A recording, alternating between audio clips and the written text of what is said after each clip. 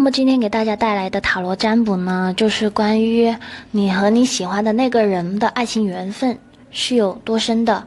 呃，就是这个对象呢，可能是你暗恋的人，也或许是你的一个正在暧昧的对象，或者是你的恋爱对象，就是都可以点进来占卜一下。那么依旧呢，四四张牌，第一、第二、第三、第四号牌。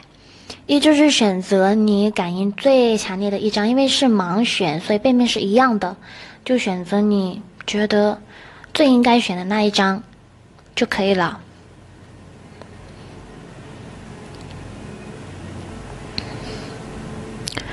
选好了吗？选好了，我们一起往后看。我们现在开始，呃，我们现在先翻开第一张牌。那么第一张牌呢？是圣杯三正位，就是说你们之间的缘分呢，虽然是有缘分，但是可能没有没有很深的那个牵连。你们之间就是更多的是一种暧昧的性质性性质的存在，但是呢，也是有也不单单是暧昧，也有别的感情掺杂在里面。但是你们心里，对方并不是你唯一的选择。他确实是能给你带来一些快乐的体验，啊，你也会和他度过非常愉悦的时光。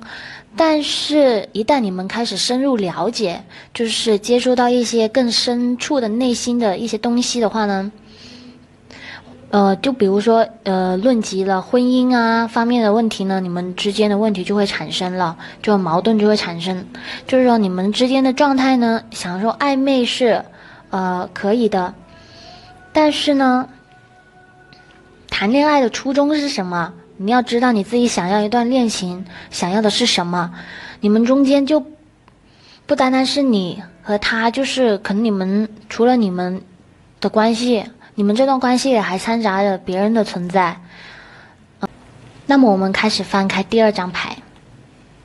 第二张牌呢是死神正位，就说你们的缘分。就非常的浅。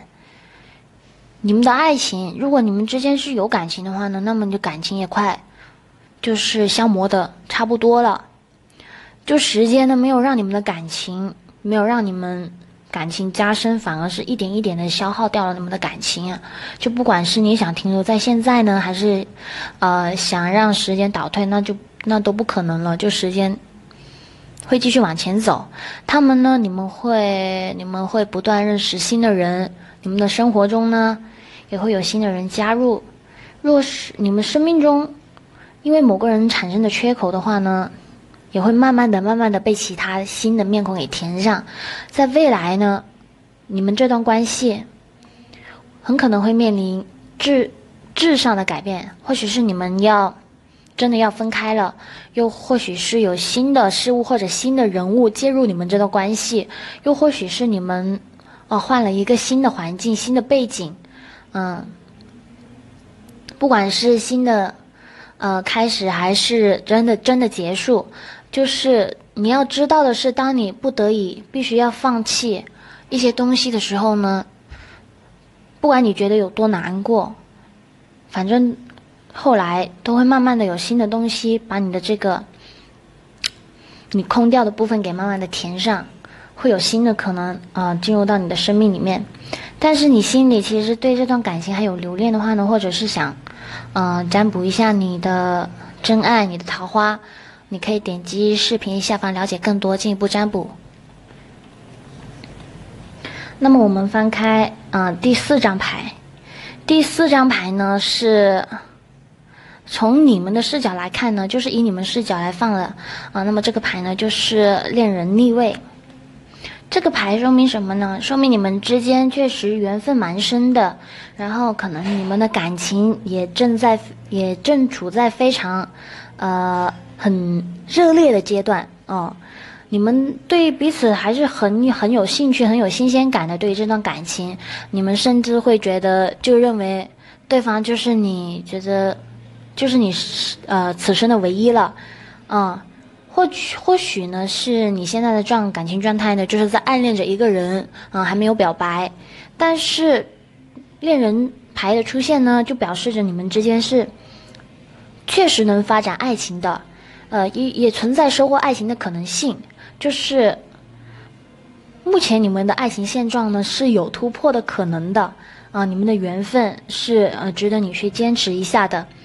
若你想知道你现在这个对象呢会不会啊值不值得发展？啊，是不是你对的人，或者是别的？你有别的爱情问题啊？想另外占卜的话呢，直接点击视频下方的了解更多。那么我们来到最后一张牌，最后一张牌呢是圣杯六。嗯，圣杯六怎么说呢？就是你们之前不管是快乐、悲伤，或者是。啊，你曾经怨恨过对方，或者是你很很舍不得对方，但是过去了，你也应该慢慢的学会去释怀，去放下。就你一直想着过去的事情呢，你现状也不会有新的发展，你也你也看不到新的可能。你们的关系的话呢，就一直没办法突破，就会一直保持现状，啊，不会更关系不会更进一步。呃，也不会变得更更加糟糕，暂时会保持一个停滞的状态。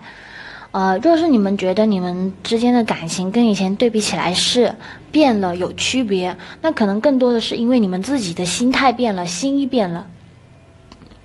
或许是打比方说，是因为你比以前嗯更成熟了，你再不是以前，呃以前那个呃思想上还有点幼稚的自己了，所以。